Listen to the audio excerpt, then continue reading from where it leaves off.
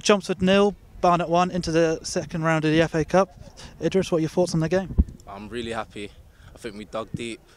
We've had chances. They've had chances. They're a good team. They're a really good team. But I feel like we just kept on going. We got a great team spirit, and we never gave up, and we got the we got the win. It was quite even first half. What did the gaffer say to you at half time to get you out for the second half? He just um, tweaked us um, our positions a little bit. Told me to get inside and not to make the fullback worry about me, because I thought I was doing well first half, but I was just doing a little bit too much defending. Then we tweaked the second half and we was getting in the pockets and was we was all over them. We shortly went down to 10 men. What did you see of the challenge by Woods?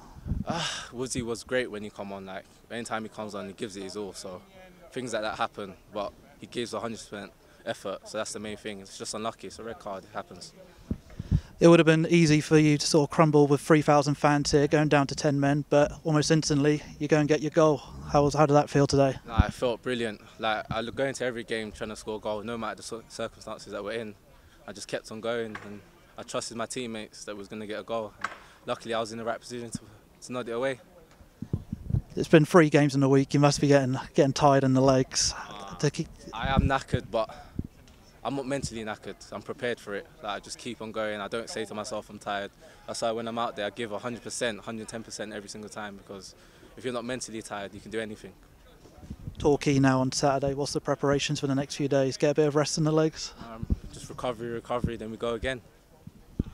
Idris, thank you for your time.